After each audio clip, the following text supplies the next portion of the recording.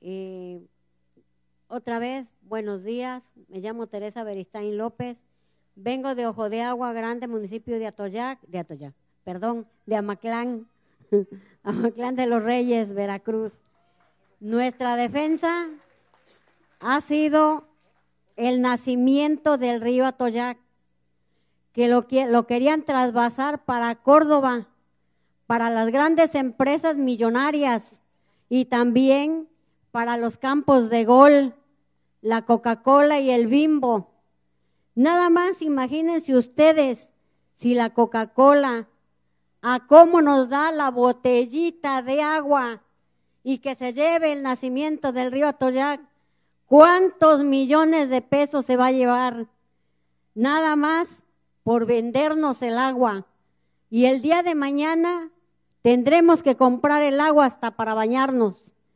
Si no me dejan mentir ustedes, porque ustedes saben que en otros países hay empresas de la Coca-Cola que a los pobres les venden el agua ya también para bañarse. Yo me pregunto si aquí en Veracruz nos vamos a dejar que se lleven esos ríos los grandes empresarios y también que lo agarren para las microeléctricas, según ellos, que ustedes saben muy bien como organizadores organizados que las empresas extranjeras no quieren a nuestros hombres trabajadores en las empresas. Si tienen dos o tres, para ellos es mucho.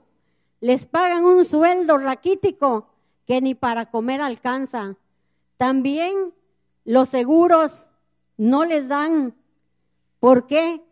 Porque ya ahorita los empresarios ya no quieren tener deudas con los trabajadores de los seguros.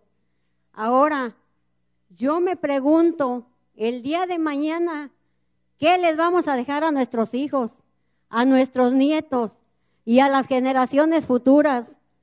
Todas las aguas bien sucias, los terrenos, los baldíos, también ya no los está recogiendo el gobierno para vender a las grandes empresas. Yo ya voy para viernes y sábado, pero los niños que apenas vienen, los que van a venir el día de mañana.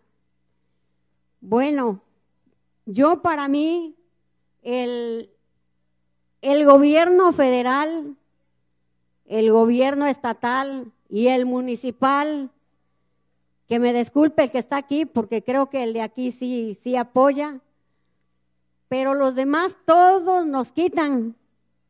Lo del café, según el emergente que venía también, lo agarró Duarte, ahorita todo eso lo están agarrando para las políticas o para la deuda que tiene el Señor.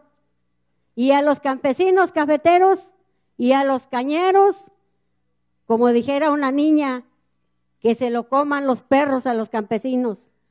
Pero sí, el día de mañana, ahorita tienen, y a lo mejor al rato ellos también, como ricos, no van a tener nada, porque se acuerdan que el dinero se acaba, la pobreza sigue, pero aunque sea comiendo frijoles, ahí vivimos.